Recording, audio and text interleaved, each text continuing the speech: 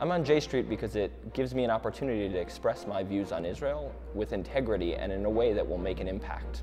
I'm on J Street because I believe that the Israeli-Palestinian conflict is the major moral issue that American Jews have to grapple with. I'm on J Street because, because time is running out and we need to stop playing politics and start looking forward. For me, the miracle of Jewish return to sovereignty is the values that Israel embodies.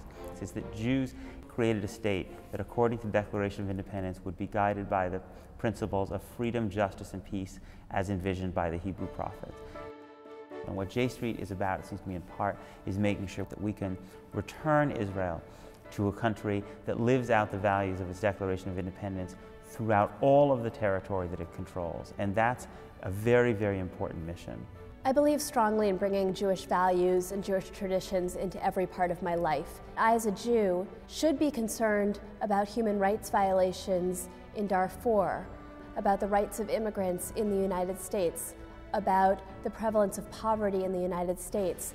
And yet, I shouldn't bring these Jewish values into discussions about how we treat the Palestinians. But Jewish values speak to every part of life, and the Jewish state should be the place where Jewish values are most alive. And so I don't want to have to check my Jewish values at the door when I engage in Israel. All of us in this conversation want a democratic, Jewish, secure Israel. I hated the fact that pro Israel had been taken away from the progressive, liberal left in Jewish life. I always felt like I was pro Israel. J Street sends a message, at least to me, that says your opinion matters. It provides a place where people can have honest and wide ranging conversations.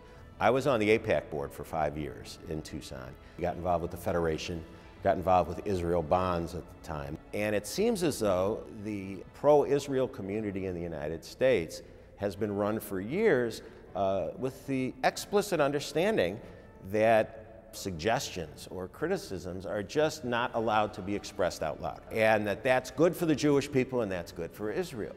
Now, I look at that and say, how can that be good for anyone? I think the message is that you can be someone who simultaneously loves and supports Israel and voices concern about Israeli policies. Last summer I was in Jerusalem and one of the most amazing things about being there for me was working with young Israelis who were participating in the struggle for a better Israel to create a, a new bond between Americans and Israelis who have similar values was a, a new form of Zionism for me. It was a kind of Zionism that never existed before, I don't think. It seems to me American Jews, given our history of struggling for democracy in our own society, uh, given how closely we identify Americanism with democracy, should be involved in that struggle. We shouldn't be on the sidelines. We shouldn't be bystanders. I now have a one-year-old daughter who's an Israeli citizen. I can't imagine her as an 18-year-old making the decision about whether to enlist in the Israeli army and still have the possibility of serving in the settlements. It's inconceivable to me that this conflict can still be in the same place that it is now 17 or 18 years from now. And so I have to believe that peace is possible. So J Street has to be out there much more. It has to be much louder. We need every single voice in the Jewish community to speak up. Our voice is a strong, legitimate, and growing voice. We want uh, America to take an active role, and what we want is going to be good for America and good for all of the stakeholders. I hope that J Street can go out of business, that we'll have uh, a third or a fourth annual dinner, and then we'll say, we won, we can all go home. Winning is winning for everybody. Winning is peace. Winning is a democratic Jewish Israel. That's nobody losing, that's everybody winning.